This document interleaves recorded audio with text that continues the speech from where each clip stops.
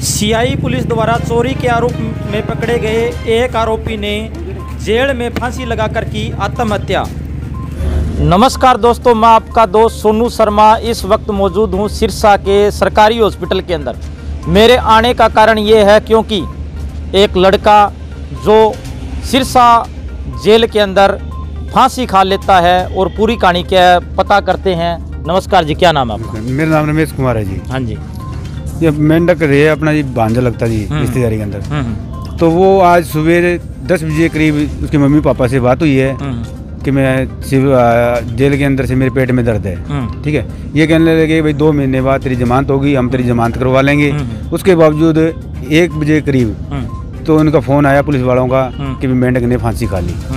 अब पुलिस प्रशासन का आपको क्या आश्वासन मिला है? उनको आश्वासन मिला है कि भी हम इनकी जाँच करवाएँगे। हम्म। ठीक है पोस्टमार्टम रिपोर्ट से हम्म। और जज साहब आएँगे यहाँ। हम्म। ठीक है और आपकी जाँच करवा देंगे। आप देख सकते हैं मैं आपको सीधी तस्वीरें दिखा रहा हूँ। सिरसा के सरकारी हॉस्पिटल की चोरी के आरोप में सीआई स्टाफ द्वारा 10 दिन पहले कुछ लोगों को कुछ लड़कों को गिरफ़्तार किया गया था। लेकिन उसकी जेल में एक लड़के की फांसी की वजह से फांसी खाने की वजह से मौत हो चुकी है साथियों।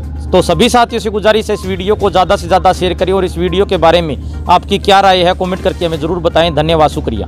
पूरा ऐसा है कि वो नौजवान लड़का है, जिसने जेल में फांसी लगाकर आत्महत्या कर ली है। या मजिस्ट्रेट साहब द्वारा इसके बयान लिए जाएँगे परिजनों के और बोर्ड द्वारा इसका पोस्टमार्टम करवाया जाएगा।